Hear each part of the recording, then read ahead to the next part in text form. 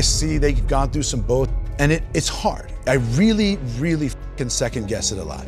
It breaks my heart where I'm like, this never happened if you know I wasn't in this life. And how it happens, you know, it happened in Miami, in a, a friend of mine's uh, home, which he allowed me to have the wedding, beautiful home by uh, by the canal. And it was in Miami, and we had like 250 people, like her family, my family, some friends. Um, it was crazy. It was a beautiful wedding. You know, it was outside, beautiful ceremony. Uh, she looked, you know, stunning. I looked, you know, I looked stunning. Uh, and it was good. It was actually it was hot because it was in February and it was like in the middle of the summer, pretty much in Miami, and it was amazing. We started at two o'clock, I believe, and it ended until like five o'clock in the morning. You know, paparazzi they were there, you know, trying to take pictures, you know, filming, you know, on the, all the fans. I mean, it was a great, great experience. You know, it was happy, it was sad because you can, you know, you can see her like tears. You know, when she was getting married, I cried. I cried because I, I couldn't believe it. You know, I was like, I was totally in love. We were totally in love. But head down to the comments and let me know which of the two clips you feel he's talking about someone that he has respect for, that he looks up to, and which one he's talking about someone where he doesn't really have that same amount of respect. Jennifer Lopez and Ben Affleck. After months of speculation, the pair are calling it quits.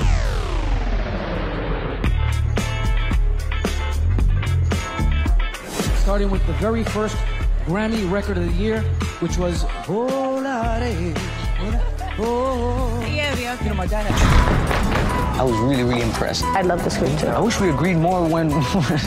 We're technically still married. wow, so technically, while we were married, we did agree at some point. Yes. Do you want this divorce?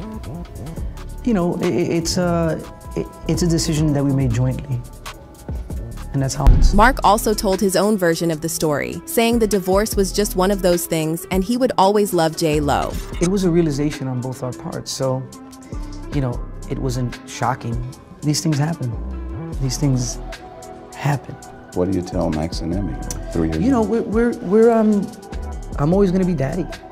You understand what I'm saying? And and and they're used to me traveling and Jennifer traveling, and uh, you know we Skype all the time, and and uh, you know trying to maintain that presence. They're still young. You know what I mean? Do you love Jennifer? I'll always love Jennifer. Yeah. I'll always love Jennifer. She knows that. But the important thing is that she knows that. Anthony have like this like um, a not together couple thing down pat. Oh yeah, like, yeah, down. yeah. No, we're we're like best friends. You know, So we're, ma- we're making an album right now, you- which I wasn't. we're making a Spanish. Actually, he's making, helping me make my Spanish album. No kidding. And um, you know, at first I was like, like we're good, like. With the kids and everything, but Let's if we start working it up, together, right? like is that gonna be like uh, we're gonna start going at each other again? And it was, it was, it's been awesome. Honestly, I think it's even helped our relationship. It's No made things even better. Yeah, we're just in a really great place, and um, it's it's it's Wow. great. And the kids, they get to spend time with the two of us more together and see us working together, and it's just good for them. It's good for us. It was just good for the the whole family. The whole Jennifer Lopez is getting a lot of backlash after her movie and following documentary. Here's why she's not relatable. First, she's trying too hard. She keeps referring back to her time in the Bronx, but the people there don't see themselves in her. Second, she has a reputation for treating people under her like dirt. The reason is she's super hard on herself, and people like that, perfectionists, tend to also be hard on other people. Too hard. Third, she refuses to sign autographs or even have a short conversations with people. If you're famous, you have to deal with the fans. Fourth, she lacks humility. She thinks she works harder than other people. She has this arrogance that says, I'm better than other people, which is probably why other celebrities wouldn't participate in her documentary when asked by her team. Fifth, She's rich and famous, yet it's never enough. It feels as if she's still longing for recognition, which was confirmed by her husband, Ben Affleck, in the documentary. This addiction for recognition is off putting to people because it means she hasn't done the work on herself. And this is why people don't like her. She has all the resources in the world, and yet she's still disconnected from herself, which makes it hard for us to connect with her. If she really wanted to connect with people, she could be more vulnerable about what it means to be a successful woman, being a mom and wife, going through divorces. That's what we can relate to. I just said to my kids, tell me, show me the articles that that prove that social media is good for teenagers, and then we'll have the conversation. Oh, oh my gosh. Find Facts. scientific evidence that um, matches what I have that says that it's not good for teenagers, then we'll chat. And how do they feel at this point? Uh, my eldest is grateful. Wow. See, and you we'll just gotta see. be in the long haul. though. I mean, it's a long haul. I have a couple more to go, so just knock on wood. We'll see if I really hang in there. Being the child of uh, famous parents is really not something that many people can understand, and I and I, I feel for them for that because they didn't choose that. Well, there was a solid decade where there were five or six cars minimum and up easily up to 15 or 20 on the weekends outside of my house at all times. And looking back on that, I really feel the stress of it. I really, it may, I could cry talking. I, I was, I mean, I'm 48, and I find I called my parents and said, "Dad, I'm going to pierce my ears." And he said, "Okay, Jennifer." um, but let's see. That we we didn't we didn't wear makeup. We didn't have our nails painted. We were very good girls. My mom was narcissist, center of attention, you know, life of the party type person. I got very used to being around people like that.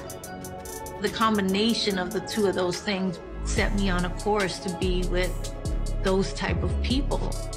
What I started to realize was I'm comfortable with this, but I don't like this. Selfish. This is not what I want. This is just looks like a chicken. And she doesn't even try to hide her annoyance. Fans fell in love with J-Lo for being Jenny from the block.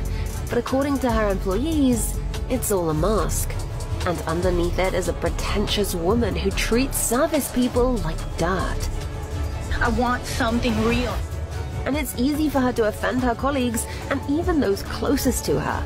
But is she really that bad? My kids were at that age where they were like challenging the status quo and really, you know, kind of looking at you. And now it's not all like hearts and flowers anymore. Now it's kind of like, you know, wh- why are you telling me to do that? I don't want to do that. You know, just like constantly kind of the push and pull of being a teenage mom. Is that Max or Remy? Who's the most challenging? Uh, both of them. Both of them are. Oh my gosh. Find Facts. scientific evidence that um, matches what I have that says that it's not good for teenagers, then we'll check When it. you say you don't drink, you don't drink at all? You just drink No, I'm not. A, I'm not a drinker. I just never started. It was another one of those things. My mom just never, you know, was but like, this is what- "Don't drink, don't do drugs, you're gonna die." I'm like, okay, you know, it's just like in my head. Hey, Jennifer. It's Jennifer Garner to the rescue as she descended on Ben Affleck's home and staged an intervention after her ex apparently fell off the wagon. Can you guys please do me a favor? Yes, yes. Just out of respect. Yes. Can you give some space? Bo and Ben Affleck. Oh, that's there. Well, she's sniffing. I think she does taste his drink, but she grabs it. People are assuming to think that to ensure it didn't have alcohol in it. Ben Affleck and Jennifer Lopez at the shotgun wedding party. Yeah, he's like, I promise it doesn't have alcohol in it. You can, in the morning, you can either be making breakfast for your kids, making their lunch boxes, or you can be getting paparazzi ready. and so, you know, I know which way I'm gonna go. When I was reunited with the love of my life, and we decided we were gonna be together forever. One thing you can always trust in, oh God, family. We do our best. We do try our best. You don't need to worry about Ben. Let me just tell you. That they were seen in public together in, gosh, uh, more than a month. Yeah, 47 days. 47 days. The flowers were not for Ben, but they both showed up with flowers. They went to go see one of Ben's kids was starring in a play last night, a school play, and Jen was there as Right. well with Emme, and they all went in together as a family, and they went and saw the play, and then afterward, Ben drove Jen and Emme home to Beverly Hills. Okay, we're not doing that. Thank you so much, guys. Really appreciate it. Thank you. Thank you. tomando. You know better than that. Come on. Don't come in here with that energy, please.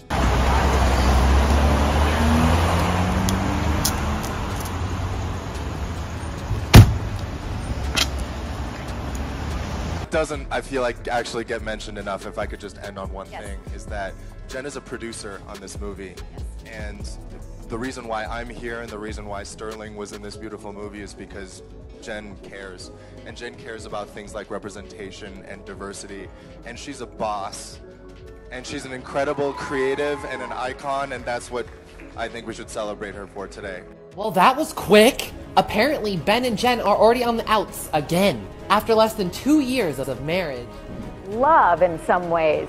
Yeah. But then they realized there was difficulty and maybe, you know, they've grown apart. They're two completely different people.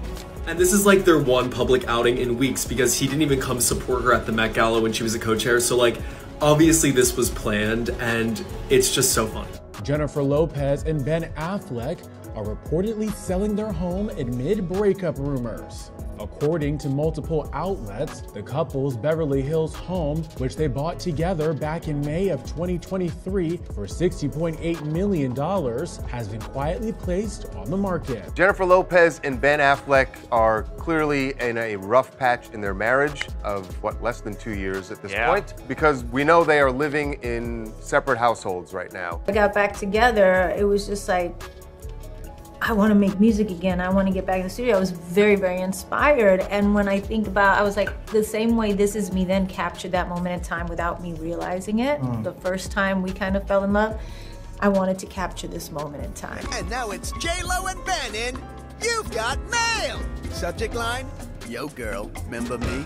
So Ben Affleck and Jennifer Lopez didn't just suddenly start hanging out together two weeks ago. He started reaching out to her in February, sending her emails. I've always, for better or for worse, have followed my heart and my, and my instincts, and this is where it brought me to. Why are people always worried about what face Ben has on? Like if he did, if Ben like walks out the house and he's Ever wondered why Jennifer Lopez's relationships often end in turmoil? According to her exes, Marc Anthony and Alex Rodriguez, they think they have the answer. They're revealing secrets and pointing fingers, hinting at what really happens behind the glamorous facade. The Jenny from the block we thought we knew might have a more complicated side, and her former partners are ready to share their stories. Rumor has it that JLo and Ben Affleck are currently dividing their $60 million mansion with no prenup involved. But this isn't just about broken hearts, it's about serious money. And that's just the beginning of the latest celebrity drama. Curious about what's really at stake? JLo's love might be priceless, but her divorces certainly aren't. Get ready to dive into the drama, the dollars, and the dirt that's emerging about Jennifer Lopez. Did JLo outmaneuver Ben Affleck? The rumors are flying, and Marc Anthony and A-Rod are spilling the tea on Jennifer's love life, which, as it turns out, isn't all glitz and glam. Let's start with Marc Anthony, JLo's ex-husband and the father of her twins. According to insiders, he's not exactly thrilled with how things are playing out in Jennifer's romantic life, and who can blame him? He's trying to raise kids amidst all this Hollywood chaos. Sources say Marc has been watching JLo's relationship roller coaster with growing concern and frustration. It's not just about her moving from one high-profile romance to another, it's about how all this attention is affecting their children. Imagine being a teenager and seeing your mother's love life splashed across every tabloid and gossip site. That's a tough situation for anyone to handle. But here's where things get serious Marc has apparently reached his breaking point with JLo's latest reunion with Ben Affleck. Remember when Bennifer 2.0 made headlines? While the public was caught up in the romance, Marc was seeing nothing but red flags. For seven years, Marc and Jennifer were one of Hollywood's ultimate power couples. However, their relationship came to a surprising end just six weeks ago when they announced their divorce. Ben Affleck, dealing with the breakup in his own way, has taken to riding his new motorcycle, calling it his little escape. Marc claims that the reason for their breakup is simple the marriage just wasn't working anymore. Both of them saw it coming, so it wasn't a total shock. But the hardest part, explaining it to their twins, Max and Emma. Despite everything, Marc is determined to be their father no matter what. The kids are used to their parents being on the go, and they're handling it as best as they can. However, Marc is worried that all this back and forth in JLo's love life is messing with their kids' sense of stability. And let's be real, kids need stability like fish need water. You might be thinking, but don't Marc and JLo have this whole co-parenting thing down well? It turns out that the Bennifer situation is putting some serious strain on their co-parenting relationship. It's like trying to keep a house of cards standing in a windstorm. Now, let's talk about Alex Rodriguez, JLo's ex-fiancé and baseball superstar. He's not just sitting on the sidelines watching the Bennifer drama unfold. Word has it that A-Rod is feeling pretty bitter about how things went down with JLo, and can you blame him? One minute he's planning a wedding, and the next he's watching JLo reunite with Ben Affleck on every magazine cover. But here's the thing, without a prenup, and with all these shared assets, this divorce could get very messy. Legal experts are already predicting it'll be a complicated battle. There's been chatter that JLo was so eager to lock things down with Ben that she refused a prenup, trying to prove that this time their love was for real. Now, rumors suggest that Ben might be slowing down the divorce process because he's looking to cash in, possibly coming after half of everything JLo made during their marriage. Was it just about the money? But was there a deeper agenda? Were they in it just for the money? Let's be honest, Jennifer Lopez doesn't need any of Ben's money. These two first met over two decades ago, and despite hitting pause on their love story in 2004, they rekindled their romance in 2021 with a bang. By 2022, Bennifer 2.0 had tied the knot. Now JLo is gearing up to release her ninth album, and who's her biggest cheerleader? You guessed it, Ben, standing by her side, waving those pom-poms high. But this isn't just about the music. Together, this power duo has a combined net worth that's truly staggering over half a billion dollars. However, let's not get it twisted JLo is definitely carrying the heavier financial load in this relationship. Let's break down the numbers together. JLo and Ben are worth around $640 million, with JLo being the major contributor to that figure. As the drama continues to unfold, it's clear that the stakes are high, both emotionally and financially. What was once a fairy tale comeback story is now turning into a legal and financial saga that could keep the tabloids buzzing for months to come. Jennifer Lopez and Ben Affleck have amassed a serious fortune together, and it's not just from their movies and music. We're talking about luxury properties, brand deals, and more. But here's the real kicker JLo owns a whopping 70% of that combined wealth. She's sitting on a cool $450 million, thanks to her incredible success in both the music and film industries.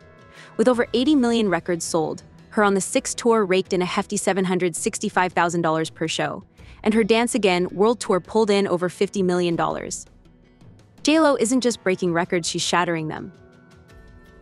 And let's not forget her Hollywood earnings.